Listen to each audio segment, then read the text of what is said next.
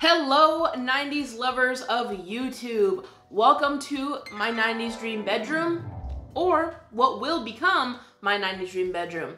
My name is Nerdy Momo, but you can just call me Momo. I am a 90s baby who thrives on nostalgia and has been collecting nostalgic items for a few years now.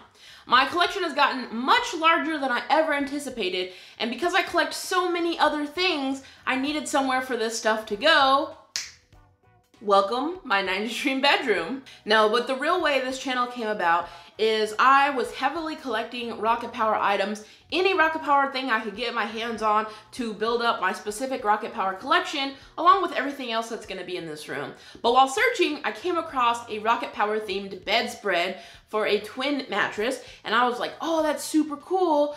I should get that. But then I was like, the heck would that go? I'm not gonna, I don't, my bed's not a twin. I don't have anywhere for that to go. It would just be in the bag and I don't really want to get that necessarily for that purpose.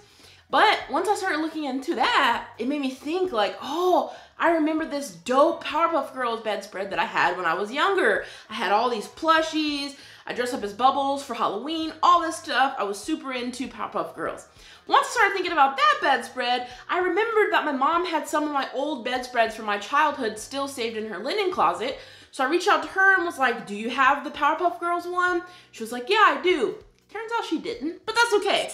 But thinking about that led me to thinking about, man, I wish I had somewhere to put this, like a room with a twin bed where I could make it up like the one that I had when I was growing up. And then that just sparked my ideas to a whole bedroom full of things that I had when I was growing up, things I wish I had when I was growing up, and things that I frankly could never afford growing up. But I didn't have the space. But then like four months after having this idea, I ended up moving. Now we have this not so big, but appropriately sized room that's completely empty that we get to make up however we want and hopefully create the bedroom of my childhood dreams. So most items in this room will be actual items from the 90s or early 2000s, but a small selection of them will be 90s inspired. So they'll be 90s, early 2000s inspired, but they won't actually be products that came from back then.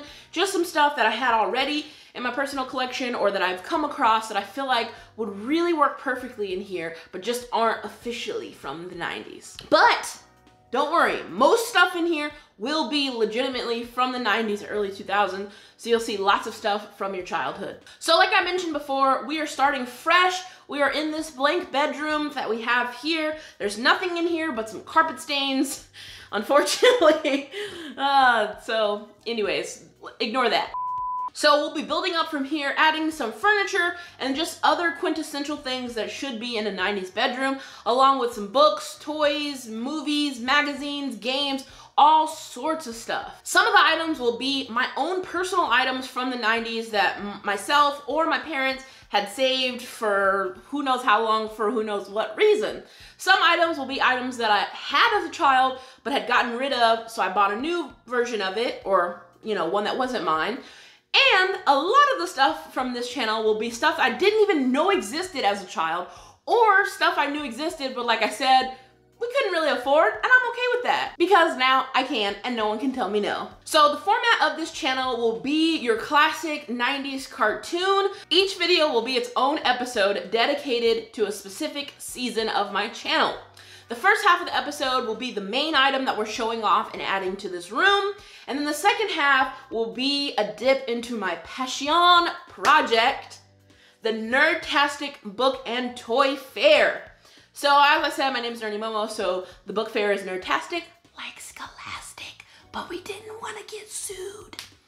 Um, and this obviously is inspired by a book fair that we would all go to as kids. I often went with no money and I didn't like to read, but I loved the book fair for some reason. I loved seeing all the books, all the bright colors, all the collections, the pencils, the erasers, some of the little toys and stuff that they had. It was just amazing. I loved it so much. And I started watching someone a few years ago called Comfort Cartoon. Shout out to him and his channel. It's amazing. He has a huge Nickelodeon collection and it's amazing. Unfortunately, my ADHD kicks in when I'm watching him because I see something that he has and I'm like, whoa, that looks so awesome, looks so amazing. I never heard of that. I must have it. So then I start searching, searching, searching, buy. Man, and then during the pandemic, who uses shopping as a coping mechanism? Me. And two of the main things that I loved that I saw on his channel were the Nickelodeon magazines, which I had totally forgot existed, but loved growing up, and the Nick Zone books that I didn't know existed, which are actually scholastic books. So I had to check those out and get a bunch of those, but I was struggling to figure out how I wanted to present them to an audience, and that's when I came up with the book fair. So the book fair works like a regular book fair. We have to have some money, Momo dollars that we created.